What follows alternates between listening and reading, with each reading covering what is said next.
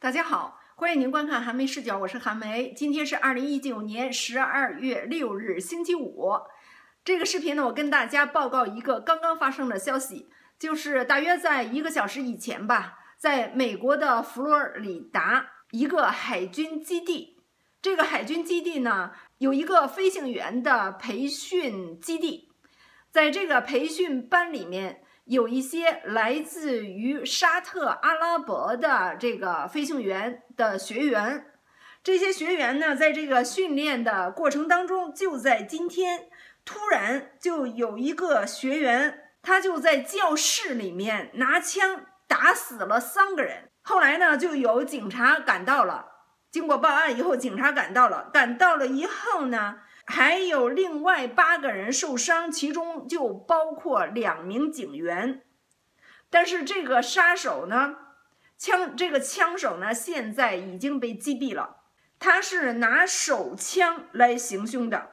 我看看啊，打死的三个人都有谁？这个美国总统川普呢，马上就给沙特阿拉伯的国王打电话，问他怎么回事啊？然后沙特阿拉伯的国王呢，就表示说，也非常的愤慨。这位学员他是一名军人啊，这些个学员都是沙特阿拉伯派来的啊，跟那儿学习飞行的，美国训练他们呀。如果大家还记得的话呢，之前曾经，之前呢曾经有土耳其也派一些飞行员在美国进行学习。因为那会儿美国要卖给土耳其那个 F 三十五飞机，所以他负责培训他们飞行员的。后来因为土耳其他买了俄罗斯的武器，对吧？买了俄罗斯的那个 S 三百，后来还要买 S 四百，那美国人非常生气，就把土耳其的那呃就取消了卖给土耳其 F 三十五飞机，同时。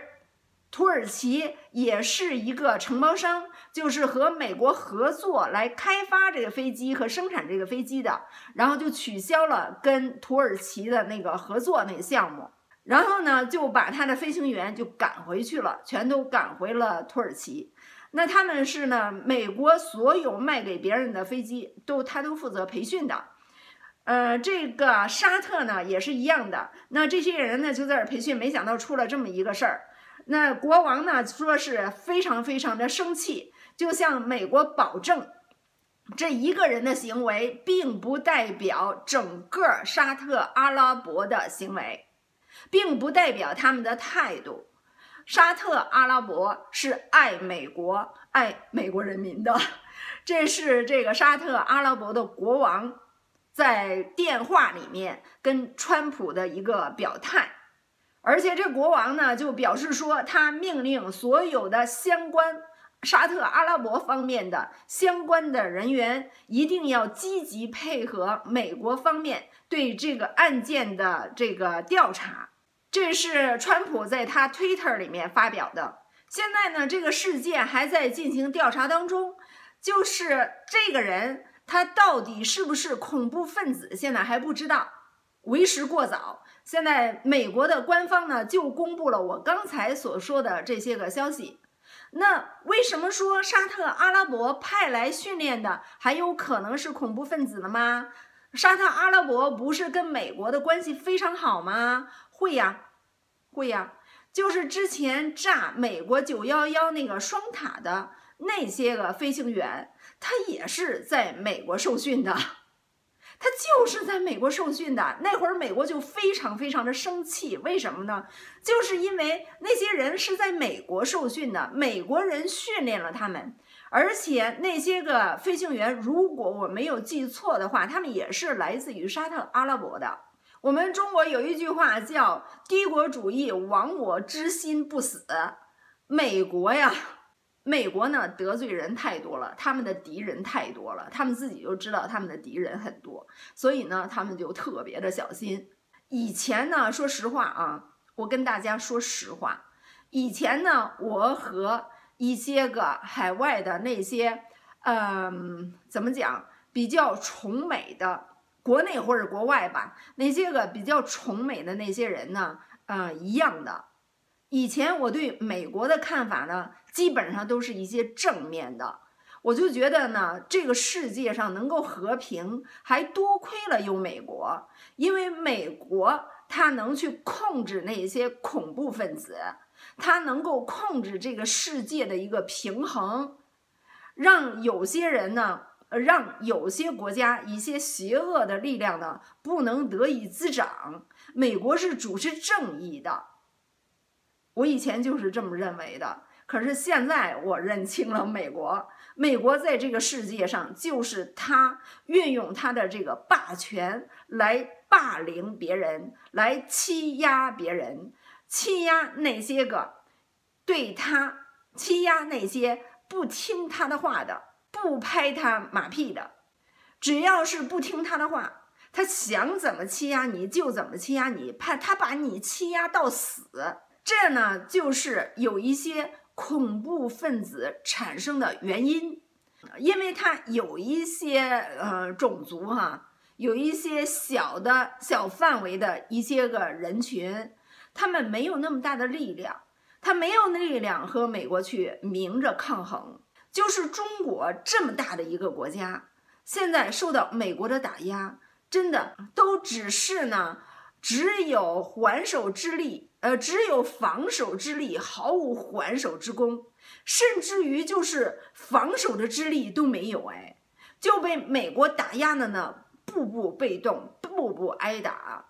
中国这么大一个国家，我们的经济已经这么强了，我们的军事也这么的强了，中国的军事现在是世界老二，第二位的，除了美国就是中国。但是呢，毕竟中国和美国之间还差着很大的一块距离，这是其中的一个原因。尽管差着很大的一块距离，他美国也不敢打中国。但是呢，这个流氓和绅士，如果你在一块儿，你是这个绅士呢，你是没有办法去战胜这个流氓的，因为他根本就不讲理，他根本就什么手段都可以用。你怎么跟他讲理啊？你怎么能战胜他？整个夏天我们就看香港的这件事儿，对不对？如果你就用打砸烧这种办法，而警察如果不能放开了去镇压他们，还要顾虑来自于西方、来自于美国的那些个呃制裁，对不对？那你就连暴徒你都制服不了，你更何况像美国那么强大的？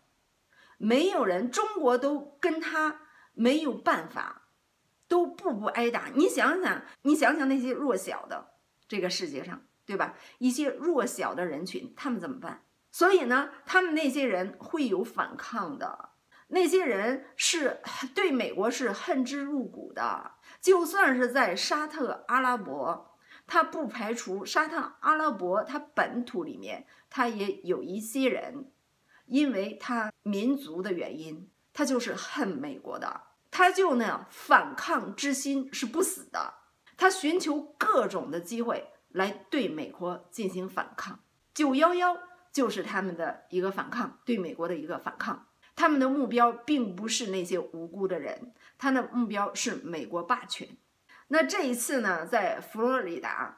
这个沙特阿拉伯军方派出来的这个飞行学员，如果他是一个恐怖分子啊，也不排除他是个神经病呢，对吧？现在你要说是恐怖分子，就为时过早。美国也没有说他是恐怖分子，但是美国的第一反应是他有可能是恐怖分子，就是他们定义的恐怖分子啊，就是跟美国有仇的伺机要对他们进行反击的，这美国定义为恐怖分子。如果他是这么一个的话，就是我刚才说的，就是他就是就是受了美国的压迫以后来进行反抗的，他没有正当的手段，正当的手段他打不过美国，他只能用这种方式。他的目标呢，并不是他要去杀的那三个人，更不是后来来抓他受了伤的警员，他的目标就是对美国进行反抗，对吧？当然了，当然了，每一个人都应该旗帜鲜明的来反对恐怖，来反对这恐怖分子。什么叫恐怖分子？恐怖分子就是因为他的一个原因，他要发泄他对一个政府的不满，但是呢，他把这个发泄的对象放到了普普通民众的身上，这就是恐怖分子。今年夏天的时候呢，为什么中央就把香港的暴徒定义为恐怖分子？因为他们的政治目的呢是五大诉求缺一不可。他的政治目的诉求是针对中央政府、针对香港政府的，但是他们滥杀无辜，他们有的时候呢根本就是无差别暴力。所以说，这种无差别的暴力。就叫恐怖分子。那些新疆的那会儿在昆明拿着刀满世界去砍，以至于呢让民众对于那新疆的卖切糕的都害怕，因为他们就会无差别的来砍人。